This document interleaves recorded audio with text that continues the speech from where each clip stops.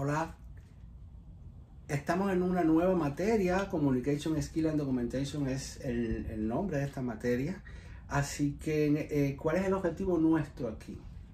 Nuestro objetivo es que ustedes eh, aprendan los diálogos que necesitan para trabajar, los diálogos en inglés que necesitan para trabajar eh, en los Estados Unidos como asistente de enfermería, como PCT, y eh, además que aprendan a documentar. Para aprender a documentar se requiere eh, primero aprender cómo es la documentación, obviamente, cómo es el proceso de enfermería. Por eso vamos a estudiar el proceso de enfermería en esta materia también. Y eh, por supuesto tenemos que hablar de lo que es el proceso de comunicación. Y de, a mí me gusta mucho comenzar por el lenguaje olvidado, que es el lenguaje de los símbolos, porque va más allá de, eh, de, la, de la cosa práctica, va en la base que hay detrás de todo. Esto del lenguaje olvidado es un tema que, que, escribió a través de un ensayo, un, libro realmente, eh, el gran Eric Fromm, que, eh, donde clasifica los símbolos. ¿Por qué? Porque para nosotros, ¿por qué es importante para nosotros comenzar con esto? Bueno, porque realmente si nosotros aprendemos que el lenguaje y la comunicación eh, tiene aspectos que van más allá de el significado concreto de las palabras, que van a un nivel simbólico, aunque sea de manera general, es importante que aprendamos, que tengamos en cuenta que las palabras son símbolos y que hay otro tipo de símbolos, ¿verdad? Que no son necesariamente las palabras, aunque generalmente le ponemos una para eh, etiquetarlo, eh, y, que, y que dependen de la experiencia del individuo, el significado que tengan esos símbolos, o que dependen de la experiencia sensorial, es decir, la experiencia vivencial, las cosas que hemos vivido, y por otra parte, la experiencia sensorial. Sabiendo ya cuál es el contenido que vamos a, tratar en este curso, en, este, eh, sí, en esta asignatura. Eh, vamos a comenzar entonces por los símbolos, la clasificación de los símbolos de Eric Fromm, que es una de las más sencillas que hay y nos permite orientarnos en este sentido.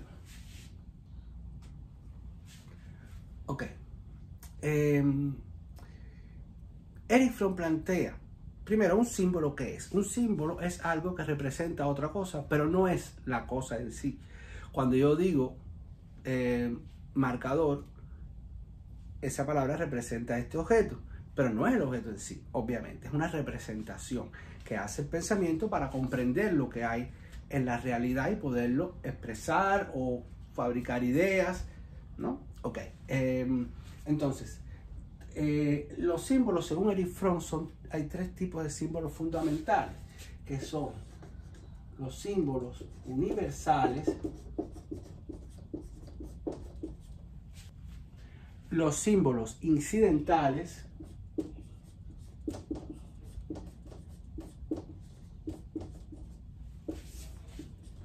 y los símbolos convencionales.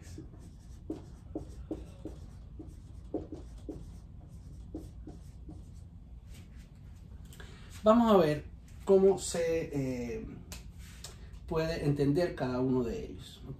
Un símbolo universal es aquel que depende de las sensaciones, es decir, del aparato sensorial, de lo que puede uno recibir de el medio que nos rodea.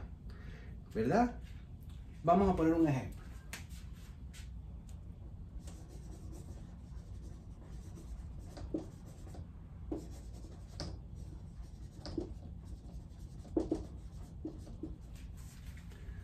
Depende de las sensaciones. Vamos a pensar en el fuego.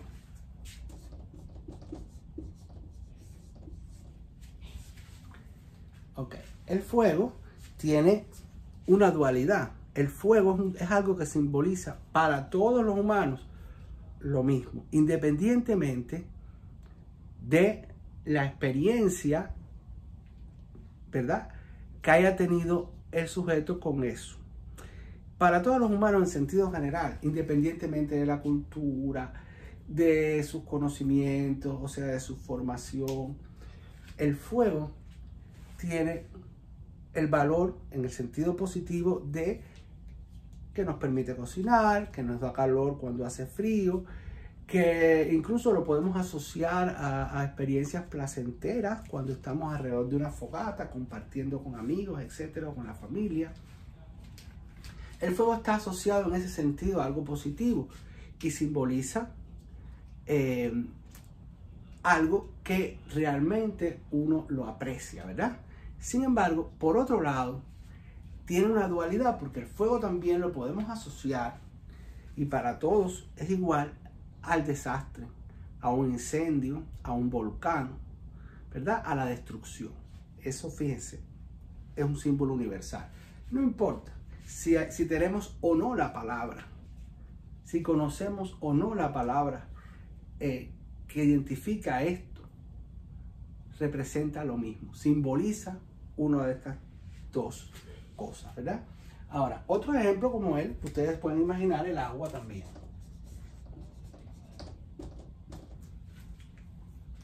El agua, igualmente en sentido positivo, tenemos el río, la piscina, la playa, ¿verdad? El agua que bebemos, ¿no? Pero en sentido negativo tenemos el tsunami, la inundación, desastres, ¿no? Ahogarse. Por lo tanto, es igual, depende de las sensaciones más que de eh, la experiencia. Entonces, estos son los símbolos universales. Podemos, hay una lista, ¿no? Podemos pensar en otros muchos símbolos que unen a todas las culturas en relación a un concepto, ¿verdad? Em, siempre son duales.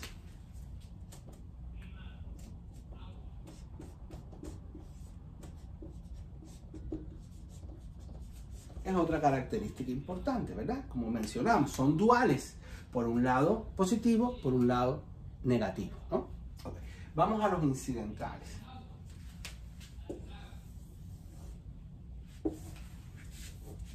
Los símbolos incidentales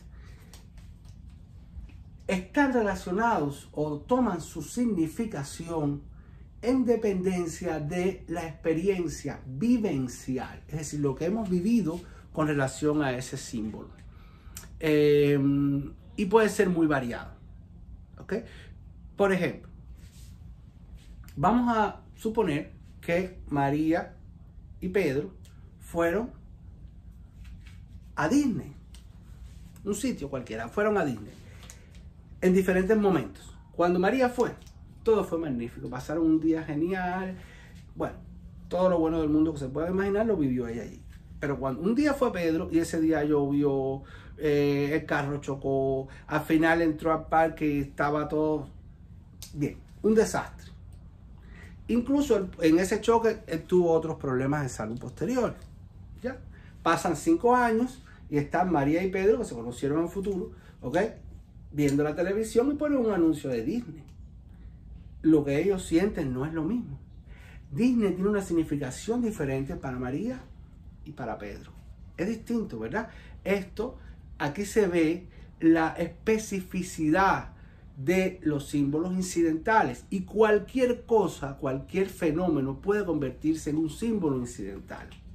¿Ok? Eh, en el caso de los pacientes, a lo mejor ese día, cuando usted está atendiendo al paciente, usted se apareció con una, con algo, con un objeto en su cuerpo que tiene un, símbolo que representa, o está asociado con algo negativo en, en la historia personal de esa persona. Y eso hace que automáticamente ese paciente le haga rechazo a usted. Porque lo ve asociado, está asociado a usted a algo muy negativo para él. Puede ser un olor, puede ser un color, puede ser cualquier cosa, porque eso depende de la, de la vivencia que tenemos. Y al revés también. Puede que usted ese día se puso una camisa amarilla y cuando fue a trabajar, y entonces él tiene asociado ese color a cosas positivas por determinadas razones vivenciales de él, ¿verdad? ¿Qué sucede? Pues entonces hay una empatía automática. Esa es la importancia de tomar en consideración los símbolos que, estas cosas suceden, ser conscientes, porque cuando uno detecta el fenómeno, uno puede hacer cambios muy sencillos que benefician considerablemente la, eh, la relación con el paciente. ¿verdad? Ahora, por otro, entonces los incidentales tenemos aquí que dependen de qué? Dependen de las vivencias. ¿Verdad? Y podemos poner como ejemplo, aquí puede ser una ciudad, un color, un olor, etc. Y por último están los símbolos convencionales. ¿Por qué usted cuando llega a un semáforo frena y si está en rojo o sigue si está en verde? Ah, porque usted sabe que ese semáforo, ese color rojo en el semáforo le está indicando que usted tiene que hacer algo. Ese es un ejemplo de un símbolo convencional. Si usted no conoce la convención, porque usted no se ha estudiado la regla de tránsito, porque usted no sé, por cualquier razón, usted no sabe que eso es para parar. Y sí, ¿entiende? Esos son los símbolos convencionales. Los símbolos convencionales se derivan de un acuerdo, de un acuerdo que se establece general, en la cual una palabra o un objeto o un color o cualquier cosa representa una, otra. Las palabras son los ejemplos mejores para los símbolos convencionales. Por convención decidimos que esto se llama pizarra, que eh, no sé, que, bueno, esto no sé exactamente el nombre que tiene, es un recipiente de cristal para guardar algodones y así sucesivamente, ¿no? O sea, hay un acuerdo en los símbolos convencionales, ¿verdad? Un cuadro, lo que usted quiera. Ahora, eso está, está codificado, en el caso de las palabras, en lenguas. La lengua es el idioma, en fin, en definitiva, son los símbolos. Que eso es otro punto que tenemos que realmente aclarar de inmediato cuando veremos este. ¿Ok? Es decir, los símbolos que tienen que ver con un acuerdo y el que no conoce el acuerdo no sabe lo que está, lo que eso representa, pues entonces esos son símbolos convencionales, porque hay una convención. ¿Ok?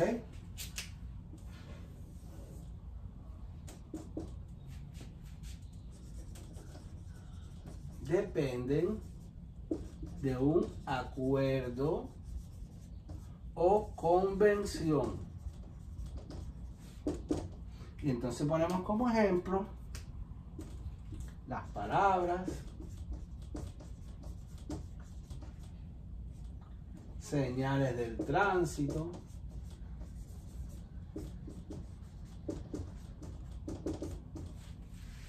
y creo que queda claro, ¿no? Entonces esta es la clasificación de Eric Fromm acerca de los símbolos, repitiendo un poquito, reafirmándolo, entonces un símbolo es algo que representa otra cosa, existen símbolos universales, símbolos incidentales y símbolos convencionales.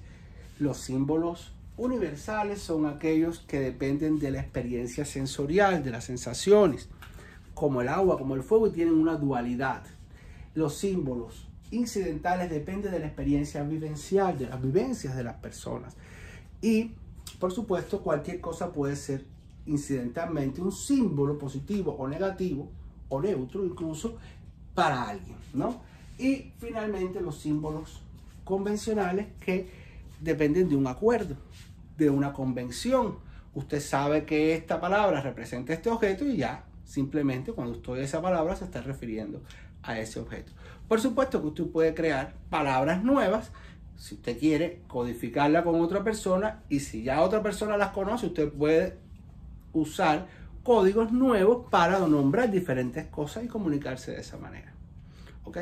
Bueno, este es el primer punto de la clase. Vamos al segundo punto de la clase, que es la diferencia entre lengua y lenguaje.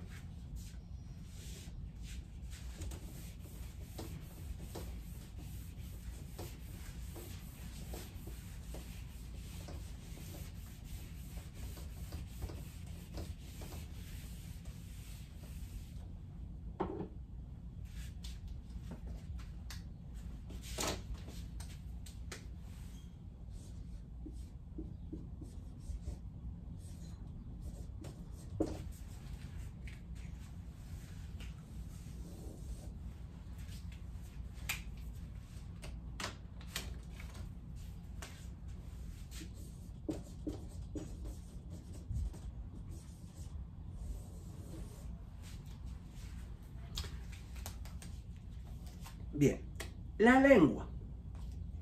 Hace un momento la mencionamos. La lengua son los códigos que usamos para la comunicación. ¿Verdad? Nos, nos comunicamos usando símbolos convencionales. Bien, ahora, el lenguaje no son esos códigos. El lenguaje es todo el proceso que permite que usemos esos códigos. Son cosas muy diferentes. El lenguaje nos va a permitir comunicarnos, sí. Pero, ¿qué es en realidad? ¿Qué es en realidad el lenguaje? ¿Por qué podemos, por qué podemos hacer esto? ¿Por qué podemos transmitir nuestros pensamientos? ¿Por qué podemos incluso escribirlos, grabarlos, aunque no lo compartamos con nadie, pero los podemos concretar, materializar el lenguaje, porque al tú escribirlo lo estás convirtiendo en algo que queda ahí y que tú puedes volver a recuperarlo cada vez que quieras. Es una forma de materializar el lenguaje. Igual que al grabarlo, ¿no? Entonces, ¿cómo es que nosotros podemos hacer esto? Bueno, porque tenemos una capacidad. Una capacidad que solamente tenemos los seres humanos. Los animales no y las plantas mucho menos. Eh, no tienen la capacidad de la comunicación porque no pueden, no tienen lenguaje.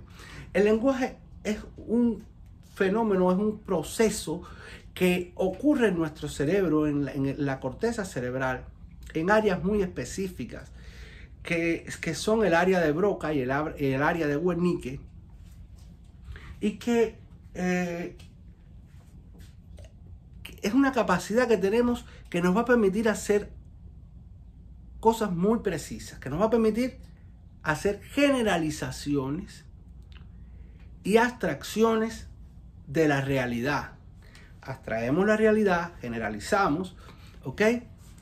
Y nos permite, o sea, es la capacidad intelectual superior, porque es una, calidad, una capacidad intelectual superior exclusiva del hombre, que nos permite generalizar y abstraer la realidad y designarla por medio de símbolos convencionales, como decía Freud. Es decir, tú tienes que tener una capacidad especial que te permita hacer generalizaciones y abstracciones. Vamos a poner ejemplos de generalizaciones y abstracciones. Cuando nosotros nos abstraemos, nosotros con una sola cualidad de un concepto, podemos llegar al concepto en sí.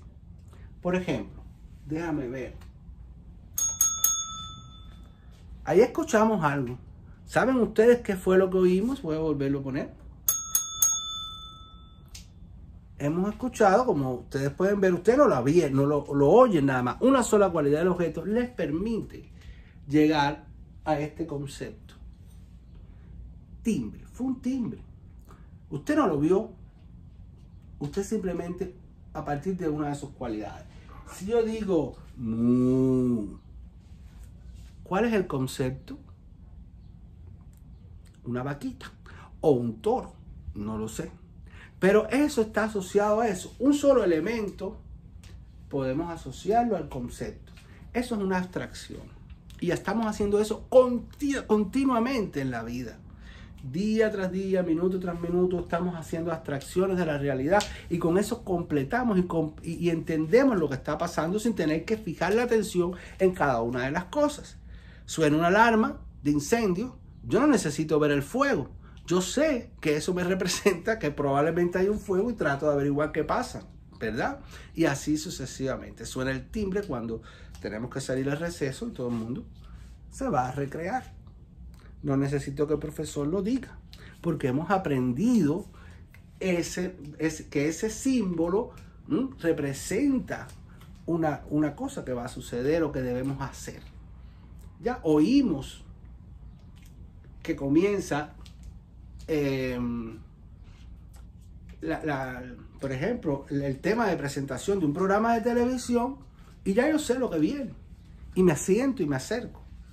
¿Entienden? O sea, ya ven cómo hacemos abstracciones continuamente. Ahora, la generalización es un proceso en el cual nosotros podemos llegar a un concepto a partir de otros conceptos. Concepto que los generaliza, que los incluye a todos. Por ejemplo, vamos a hacer una generalización juntos. Yo voy a decir una serie de conceptos y ustedes van a generalizar, van a buscar una palabra que los incluya a todos, ¿verdad? Voy a decir, por ejemplo, em, mango, piña, platanito. ¿A qué conclusión llegamos? ¿De qué estamos hablando? Si tengo que buscar un concepto, pues puedo poner arriba frutas, ¿verdad? y así podríamos hacer miles de generalizaciones. Es que las hacemos constantemente. Al hacer una generalización, nuestro cerebro entiende, nuestro cerebro empieza a clasificar estos conceptos y va guardando la información. O sea que el lenguaje está directamente relacionado y es imprescindible para el pensamiento. El pensamiento es una capacidad que tenemos para hacer juicios, para crear nuevas cosas a partir de elementos con los cuales tenemos, o sea, hacer análisis, juicio, síntesis. Eh, y eso eh, depende del lenguaje.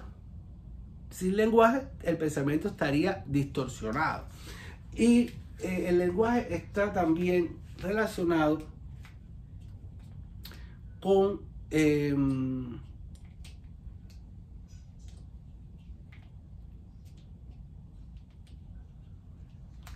lenguaje está también relacionado incluso con cosas más distantes como la voluntad. Usted, con su pensamiento, puede crear, usando el lenguaje, una serie de premisas y decisiones mentales que usted haga que le pueda ayudar a usted lograr un objetivo. Si usted no tuviese el lenguaje y no tuviese el pensamiento, usted no puede tener alguna voluntad. Usted no puede decidir una cosa y caminar en esa dirección podemos poner miles de ejemplos de la importancia del lenguaje. Pero bueno, en lo cual, en lo que nos interesa a nosotros en este momento, en esta materia, es comprender que el lenguaje es la capacidad intelectual superior exclusiva del hombre que le permite abstraer y generalizar los fenómenos de la realidad designándolos por medio de símbolos convencionales. Y que la lengua es, son códigos que usamos, que el lenguaje utiliza para expresarse, para la comunicación. ¿Ok? Entonces, vamos a resumir esto en una palabra, vamos a hacer una síntesis, usemos el pensamiento, vamos a hacer una síntesis. ¿Ok? La lengua sería códigos y el lenguaje sería una capacidad. ¿Ok? Muy distinto uno de otro. Ok. Este es el segundo punto de la clase. Y el tercer punto de la clase es el proceso de la comunicación.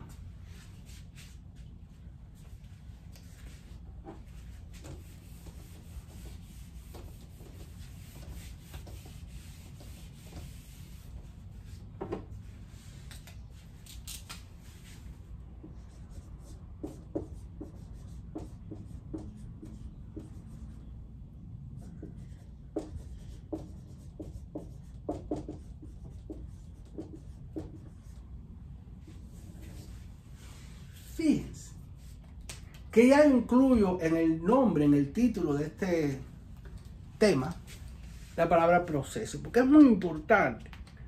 La palabra clave que define los conceptos. Fíjense, siempre hay una palabra clave que es la que te abre la opción hacia el resto del concepto, de la definición, para que tú comprendas el concepto que estás adquiriendo. Tenemos que aclarar eso también, la diferencia entre concepto y definición. Vamos a aclarar eso antes de meternos aquí. Y esto les va a ayudar mucho también a la hora de estudiar. Eh, un concepto lo forma el cerebro. El cerebro trabaja con conceptos, no con definiciones. Cuando usted estudia, su objetivo es incorporar conceptos. Pero ¿qué cosa es un concepto y qué es una definición? Yo voy a usar un concepto y una definición de ejemplo y ustedes se van a dar cuenta más o menos y después lo vamos a explicar. Por ejemplo, déjenme buscar un, objeto. Ok. El concepto de esto. El concepto es el objeto en sí con toda la información que usted pueda tener sobre este objeto, como el uso, etcétera, etcétera, pero lo que usted ya sabe, no como usted lo está diciendo, sino lo que usted sabe implícitamente. Y esto tiene una palabra que lo nombra, tijera. Esto, tijera, es el concepto, no más. Ahora, la definición. Entonces yo puedo decir es un instrumento, puedo crear una ahora mismo, ¿no? Un instrumento generalmente metálico que puedo usar para cuyo fin es cortar. Ya, vamos a dejarlo así simplemente porque la, la, la definición de tijera puede ser muy diferente. Hay muchas. Y así de cada cosa. Depende incluso de, em, del nivel que tenga la persona, de la experiencia que tenga la persona con, esa, eh, con ese concepto en sí. Por ejemplo, para un niño, un perro es un animal que dice guau guau, para un niño pequeño, ¿verdad? Pero ya para un adulto, cuando ya ha pasado por la escuela y todo, entonces puede decir un perro es un animal mamífero y puede dar que tiene crías, que tiene, que tiene, mm, que tiene razas distintas y que los humanos, y ahí puedes dar una explicación sobre los perros, que es el, el, mejor amigo del hombre y todo lo que usted quiere decir. Usted está definiendo al perro basado en lo que usted sabe de él y mientras más usted sepa de eso, pues mejor lo puede definir. Las definiciones, en definitiva, son construcciones idiomáticas que se hacen para tratar de concretar los conceptos. Y las definiciones varían. Cada concepto puede tener múltiples definiciones y el cerebro trabaja con conceptos, no con definiciones. Si usted se aprende de memoria una definición, eso se lo olvida después, usted no sabe realmente, porque la historia es que usted tiene que incorporar a su cerebro mediante generalización, abstracción y todo esto, el concepto nuevo. Y eso es lo que es estudiar, básicamente. Pero bueno, el proceso de la comunicación. En el proceso de la comunicación hacen falta eh, varios elementos. Primero, es el proceso mediante el cual un emisor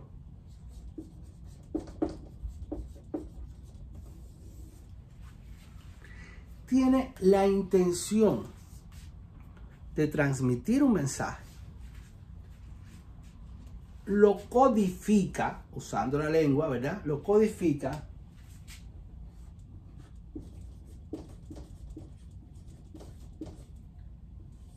y lo emite.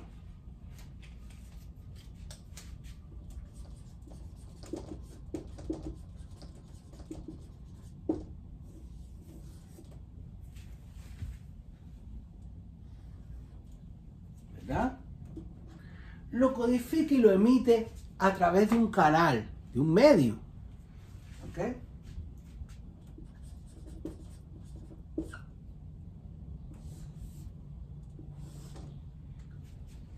Y un, y esta parte es muy importante, y un receptor lo decodifica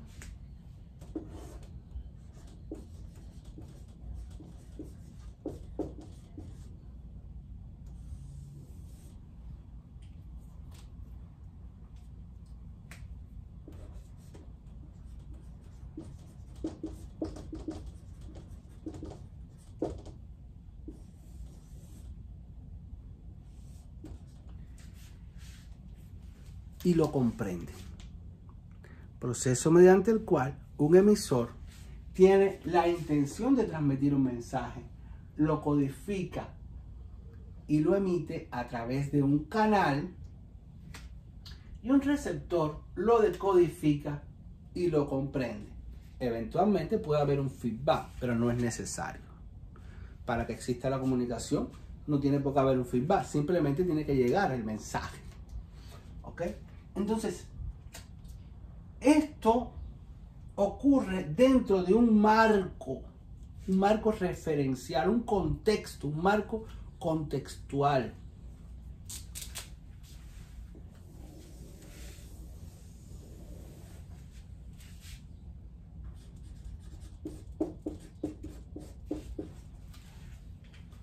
Eso también es muy importante. ¿Por qué? Porque no es lo mismo decir, ya maté eso, ya los maté a todos. Cuando yo estoy vestido así y salí de mi práctica de enfermería y le digo a mi compañero de trabajo, ya los maté a todos. Él no va a entender que yo asesiné a nadie. ¿Verdad? Ah, pero si fuese otra, si hubiese sido otra la situación, ¿qué pasa? Ah, entonces sí, es literalmente lo que ocurrió. Porque con el lenguaje se hacen cosas, se hacen juegos de lenguaje. Entonces el contexto es lo que te cambia la significación y te indica realmente, o sea, el marco referencial, la hora del día, el estado de ánimo, quienes están hablando, el nivel cultural de la gente, todo eso forma parte de ese contexto, de ese marco referencial. Y el individuo que recibe el mensaje, al final, tiene que comprender todo esto para, para recibir el mensaje correcto, porque puede recibir otro. Tú puedes decir una cosa y otra persona interpretar otra totalmente diferente. Pasa todo el tiempo. ¿Ok? Entonces, ¿dónde está la, la diferencia? Está en el contexto y en las capacidades que tenga ese receptor de comprender exactamente lo que tú le estás dando, lo que tú le estás transmitiendo y depende también de la capacidad que tengas tú como emisor para que tus ideas estén claras. Si tus ideas no están claras a la hora de tú transmitirlas, no es la claridad mental que tú tengas, no, tú puedes estar seguro de, de lo que quieres decir, pero la forma en que tú lo transmites. Y esto tiene un valor fundamental para el trabajo, para las relaciones sociales en sentido general, pero para trabajar también. Si tú vas a ver un paciente que tiene una dificultad mental y tú la conoces, que tiene ese trastorno mental, tú tienes que eh, elaborar tu, tus mensajes de una forma adecuada para ese paciente. Y no porque tenga un problema mental, él y cualquier otro paciente, según el nivel cultural que tenga. ¿Qué sentido tiene que usted le diga a una persona que, no, que no tiene conocimiento médico, que usted le baje, le transmite un mensaje con una terminología que no va a comprender? ¿Qué es lo que usted quiere? ¿Cuál es su objetivo? ¿Lucirse? ¿Destacarse? o su objetivo es transmitir la información. Si su objetivo es transmitir un mensaje, entonces piense en todas esas cosas. Y eso te lo tiene que dar el, marco referencial. O sea, no es que hablemos como anormales porque minimicemos las cosas. Es que tu objetivo es transmitir un mensaje en un momento determinado. Tú quieres que ese paciente sepa que a las 4 le toca la pastilla y que tú se la vas a dar, ¿para qué tú le vas a complicar la vida? Sé concreto, busca realmente lo que quieres decir y confirma, que esto es otra cosa importante, aquí el feedback es importante, confirma que el paciente te comprendió por su expresión corporal, pero también ¿Entendiste? A ver, dime lo que te dije, si es muy importante, y dime, dime lo que entendiste. Entonces él te repite y ya tú estás claro de que sí, que entendió. A veces hay que llegar a ese extremo cuando usted quiere realmente estar seguro de que alguien ha recibido un mensaje importante. Entonces, eh, como pueden ver, este tema es apasionante. Nosotros vamos a, em, a trabajar durante estos 15 días con este tipo de, de conceptos. Vamos a ver eh, ya en la próxima clase eh, cosas muy específicas dentro del contexto de trabajo del enfermero, de, los centros de salud, los hospitales, etcétera, relacionados con la comunicación. Porque usted tiene que aprender a comunicarse con sus compañeros de trabajo, con los pacientes, con los jefes, con los familiares de los pacientes. O sea, y tiene que aprender a documentar todo su trabajo, porque lo que no se documenta muchas veces es como si no se hubiese hecho. Y, todo eso tenemos que aprenderlo en esta materia. Espero que nos veamos mañana. chao.